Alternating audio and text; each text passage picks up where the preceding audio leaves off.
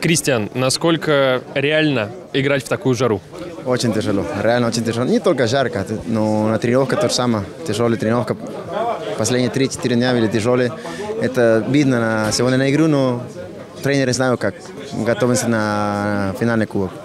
Сыграли целый матч, это было изначально э, спланировано? Конечно, так надо играть. Через не могу, тяжело. Э, все чувствуют здесь легко, но ноги устали. Это нормально. Тренировка у нас сборы были тяжелые, поэтому каждый день будет лучше и лучше.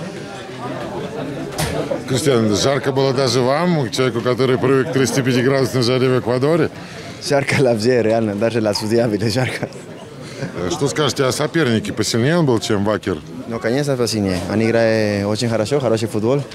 Но я думаю, это игры не важны по результату, важно, как мы играем. Как ты чувствуешь ноги, как чувствует тактика, что хочет тренер. Это больше важно. И мы показали футбол, как через не могу. И надо дальше смотреть следующую игру. А вот как раз что хотел тренер? Ну, смотри, как тяжелые нас ноги. Или чувствует э, футбол и еще раз выиграл э, воздух. Но все это тренер хочет. Свою тактика, que что мы работаем каждый день на тренировках, как мы атакуем. Я думаю, сегодня были хороший момент, но надо получше. Какая стояла задача именно перед вами? Ну, играю еще раз. Чувствую это как футболист еще раз. Время с моей травмой был давно, но надо играть больше и больше.